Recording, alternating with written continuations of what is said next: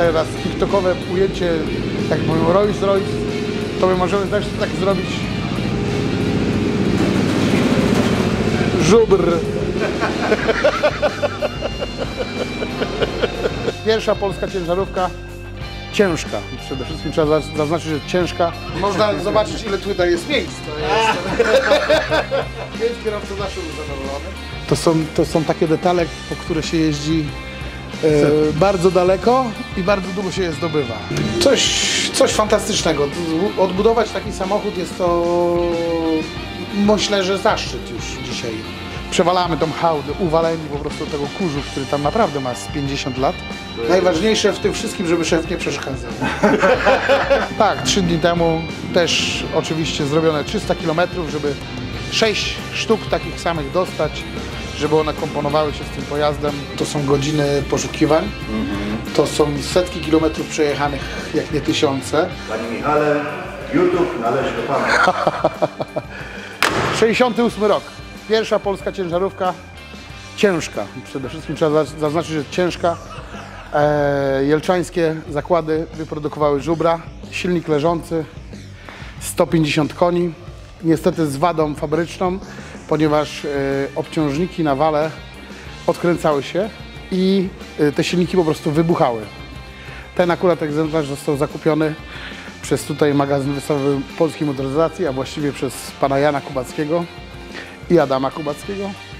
Kilka lat temu był to egzemplarz bardzo skorodowany i po wypadku. Cała lewa strona, y, trzeba powiedzieć, że jest zbudowana od podstaw, łącznie z dachem, z połową dachu.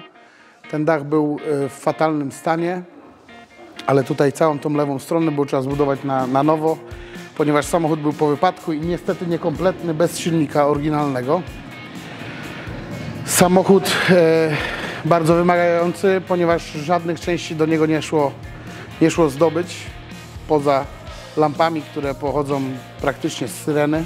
I zachowaliśmy tutaj dużo, dużo tych elementów oryginalnych, które, które z niego były, tak jak tutaj na przykład prawa szyba bez wycieraczki, jeszcze z y, tą naklejką PZU, e, która, która jest tutaj na, na szybie naklejona. Był bardzo niekompletny, staraliśmy się odtworzyć ten, ten pojazd w jak, naj, w jak najwierniejszej, wierniejszym stanie e, tego oryginału.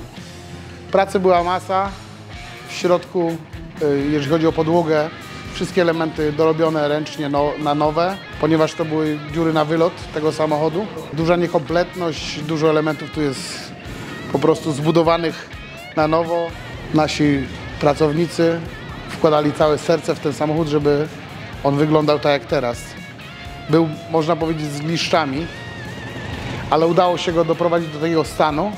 Udało się zdobyć masę kontaktów z ludźmi, którzy nam pomogli zdobyć, tak jak są kierunkowskazy, e, czy też grill, zderzak odtworzyć, który też był powyginany, e, zbudować na nowo te rączki, których, które, których po prostu najzwyczajniej w świecie nie było. Zbudowaliśmy to od, od podstaw. Ta masa niekompletności niestety była za duża do tego, żeby to był po prostu w 100% oryginał, ale nie można tego nazwać repliką, ponieważ wszystkie elementy zostały odtworzone zgodnie ze sztuką. Grill był całkowicie skorodowany, więc jest całkowicie nowo, na nowo wykonany z jednego orkusza blachy. Duże zaangażowanie wielu, wielu ludzi, samych właścicieli, jak i ogrom, ogrom ludzi pasjonatów, którzy pomogli nam. Myślę, że setki godzin, może tysiące, trudno mi powiedzieć. Staraliśmy się jak mogliśmy, ale myślę, że efekt widać tutaj, bo takich samochodów w Polsce, żubrów już zostało bardzo, bardzo niewiele. Nie wiem, czy to jest pięć, czy może siedem sztuk. Jeden jeżdżący. Mamy nadzieję, że e, jeszcze kilka powstanie i że ta historia Jelcza będzie zachowana. Może zajrzymy do środka, z jednej, z drugiej strony, najlepiej z tamtej strony, bo tamten, tamta strona również pokaże nam, że ten dach, który żeśmy odtwarzali tutaj, nie ma tapicerki, więc widać Więc widać tutaj e, jego użebrowanie, była ta, ta czapka tak zwana cała ściągnięta i staraliśmy się to wyprowadzić do tego stopnia, żeby, żeby to po prostu wyglądało, żeby to cieszyło oko, żebyśmy mogli wszyscy razem podziwiać ten, e, podziwiać ten samochód i szanować to, co kiedyś zostało stworzone. Deska rozdzielcza bardzo prosta. Tak jest, no. Dzie- de- Deska rozdzielcza bar- bardzo prosta, stalowa, z kluczykiem można powiedzieć prawie jak od Ursusa. Liczniki w, późniejszym, yy, w późniejszych produkcjach Jelcza te same zegary zostały, zostały wykorzystane. Za dużo się nie zmieniło. Tak samo rama, yy, ona praktycznie została niezmieniona do lat 90. Yy, Jest ta, ta, ta, ta, ten sam styl ramy, ta, ta sama, to samo gięcie, te same motywy. Zmieniły się co prawda później skrzynie biegów. Osobno był silnik, osobno, było, osobno był silnik, osobno była skrzynia biegów, połączona wałem kardana, co jest też dzisiaj już niespotykane.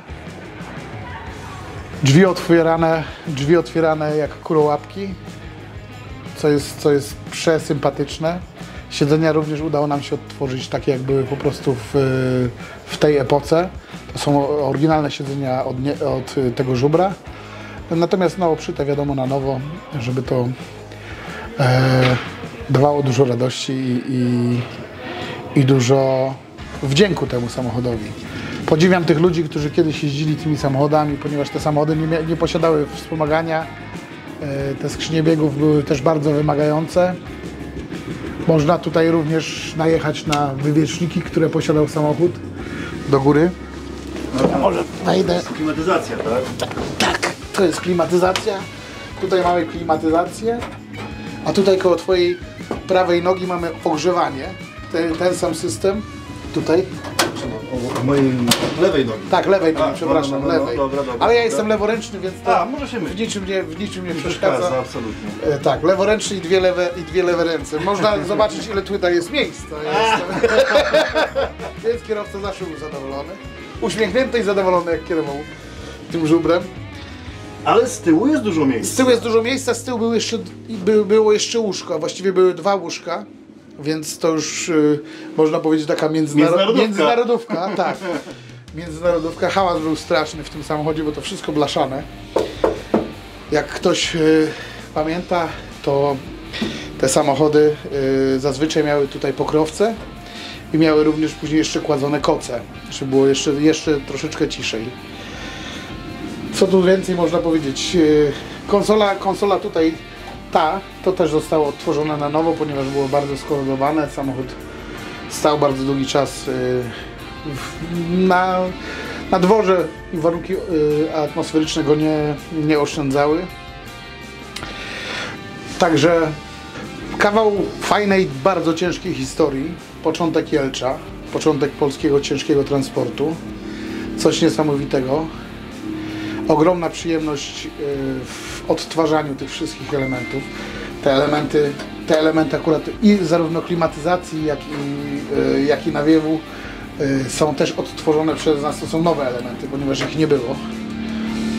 Udało się to zbudować dzięki firmie, dzie- dzięki firmie Comfort, co jest podwójnie miłe i sympatyczne, ponieważ no, udało nam się to odtworzyć tak jak było. To, to są wymiary, to jest stylistyka, wymiary, wszystko jest y, odtworzone tak jak było, tak jak było oryginalnie. Wycieraczki na linkę. Tutaj jest silniczek, wycieraczek, który napędzał zarówno prawą, jak i lewą stronę. E, Ten system był również używany w starach wojskowych i tutaj się, jak chciało się przednią szybę od, otworzyć, to, bo ta przednia szyba to się nazywało w, na zachodzie Safari Window, Mhm, tak. nie? I one się otwierały w ten sposób, więc wypinaliśmy, wypinaliśmy tą linkę, zamykaliśmy to, otwieraliśmy tą przednią szybę i mieliśmy wtedy całkowicie... Aha, I to coś fantastycznego. Wypinałeś nie? sobie wycieraczkę. Tak, wypinałeś wycieraczkę. Tutaj, tutaj jest, yy, tutaj jest taki, taki ślimak, który po prostu nap- napędzał ten trybik. I, i ta wycieraczka po prostu sobie pracowała, nie? Także, e, także bardzo fajne, bardzo fajne rozwiązanie. Czyli to była klimatyzacja. No tak. To była klimat. No tutaj akurat, tutaj akurat nie było tego, tego systemu, ale zostało to zastosowane ze starów, yy, ze starów yy, tych 25, 21, później również wojskowych yy, 660. No i, i co można powiedzieć o tym samochodzie? No, że jest ciężki, że jest duży, że jest ogromny, że wymagał ogromnej, ogromnego nakładu pracy, że był powypadkowy, co było dodatkowym utrudnieniem. Yy, Te części, ta części zostały, zostały oryginalne, ale już ten słupek i w dół to co wszystko idzie, to zostało odtworzone na nowo.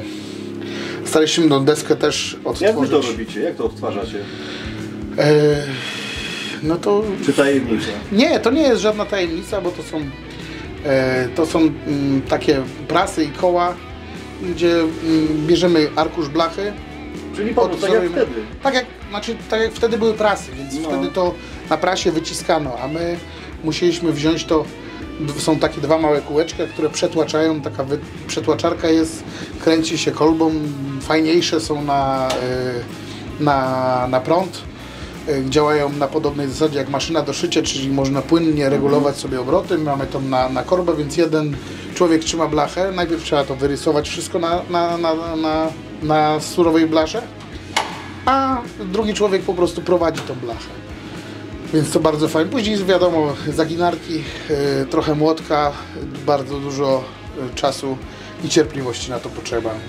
Coś, coś fantastycznego.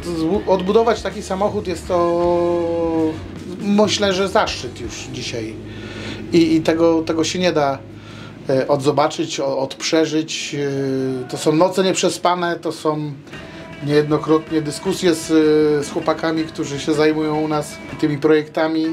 No to jest Ja zawsze- zaangażowanie, nie? To jest zaangażowanie. Ja zawsze panikuję, a chłopaki mówią, szef, ty tam idź tam, idź sobie stąd, nie, i To tam, jest daj, nam, daj nam spokój, a my to zrobimy, nie? Pasja pasją, ale to jest No. zaangażowanie. To jest... Najważniejsze w tym wszystkim, żeby szef nie przeszkadzał.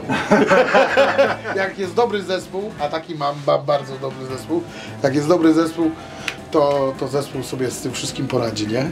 Szef zawsze za mocno panikuje, no ale no, zdobywanie nawet tych y, kontrolek, które tu są z tymi aluminiowymi obwódkami, e, to, jest, to, to, są, to są godziny poszukiwań.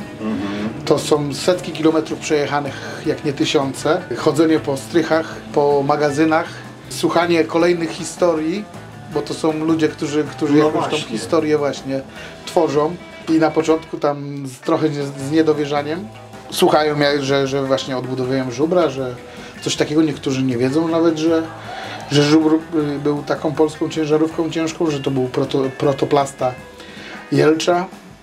Nawet nie wiedzą o tym y, następcy tego żubra, który jest bardzo podobny do, y, na, jako Jelcz jest bardzo podobny do, do tego żubra, tylko że ma drzwi otwierane już w drugą stronę. Y, to, to jest coś wspaniałego, tego się nie da odtworzyć. Tak samo tutaj jak widzimy te wypolerowane elementy, zdobyć y, człowieka, który się zaangażuje w to, w to polerowanie, bo to nie jest jakieś polerowanie wibracyjne czy coś takiego, żebyś sobie wrzucić, tylko ręczna robota po prostu zdobywanie śrubek na płaski, śrubokręt, to jest hit. Właśnie teraz jak otworzysz, otworzysz drzwi i pokażesz, i pokażesz tą zaślepkę, to te, te śrubki, które są właśnie przy klamce.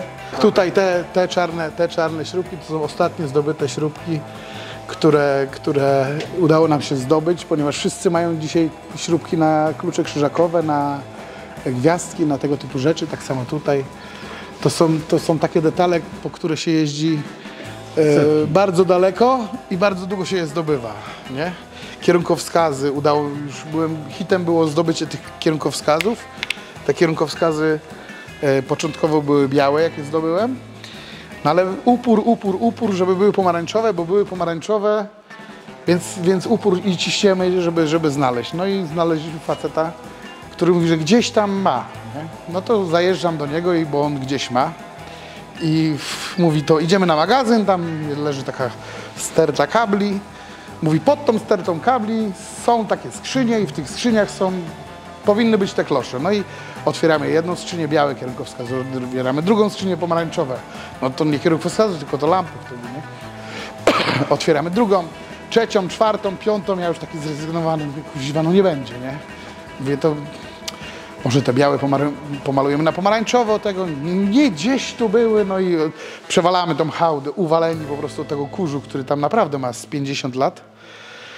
I w końcu ukazują się trzy klosze pomarańczowe po przerzuceniu. Naprawdę było tych, tych kloszy było tam z 200 i trzy sztuki udało się nam zdobyć pomarańczowe, co było radość po prostu niesamowita. No, żeby to po prostu wyglądało, żeby, żeby to stylistycznie pasowało na, nam do tego wszystkiego. Może przejdźmy do tyłu, pokażemy tu rozwiązanie. Tu jest oso- osobna skrzynia biegów. Tam dalej był, był silnik, ale ta skrzynia biegów nie była przykręcona, nie była przykręcona bezpośrednio do skrzyni biegów, tylko tutaj był wał kardana. Wał kardana to jest tak zwany nakrzyżaki i on był połączony dopiero z flanszą, która była przykręcona do silnika i y, tak był przekazywany po prostu napęd, napęd na, na, na skrzynię biegów. Tak jest, hamulec, y, hamulec postojowy pasowy, taki jak stosowano w ciągnikach rolniczych.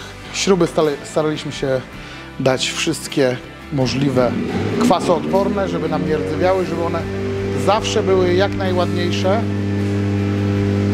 i żeby y, oddawały urok tego samochodu. Same, same tutaj kedry, montaż tych kedr może jeszcze nam pozostawia, jeszcze byśmy chcieli, żeby to było lepiej, ale niestety jest strasznie tru, trudny d- dla, do, do zmontowania tego błotnika, bo ten błotnik jest w całości przykręcony, to wszystko jest luźne, to trzeba jakoś dopasować. Kierunkowskazy ze Skody RTO, z y, tego tak zwanego Jelcza Ogórka poprzednika, bo Jelcz Ogórek również miał takie kierunkowskazy. Udało też się nam zdobyć felgi, opony z felgi akurat są oryginalne. Opony, yy, opony też nie, nie, nie, nie spodziewałem się, że będzie taki problem zdobycia opon 1200 na 20. E, udało nam się zdobyć je i są, były montowane 3 dni temu praktycznie. O, Tak, trzy dni temu też oczywiście zrobione 300 km, żeby 6 sztuk takich samych dostać, żeby one komponowały się z tym pojazdem. No, mogliśmy wybrać jeszcze ruskie albo chińskie, ale one miały już inne wzory, ale chcieliśmy, żeby to wszystko nawiązywało. Może deskę rozdzielczą jeszcze pokażemy, bo tutaj już po tej stronie jesteśmy. Liczniki, akurat ten, y, akurat ten żubr y, przyjechał z, prawda z uszkodzonym licznikiem od y, też najprawdopodobniej Skody, ale taki był. Zdobyliśmy taki licznik, jest zamontowany, przełączniki z epoki, kierunkowskaz, kierunkowskaz bardzo, bardzo ciekawy, przełącznik kierunkowskazów, nie jakieś przy kierownicy.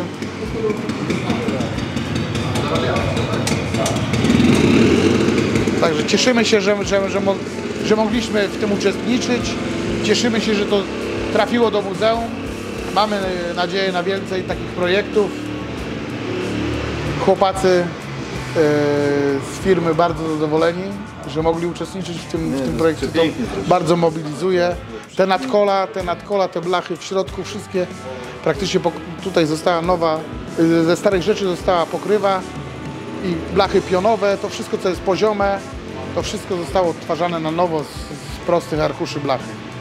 Ostatnie ujęcie to właśnie yy, teraz tiktokowe ujęcie, jak mówią Rolls Royce, to my możemy też tak zrobić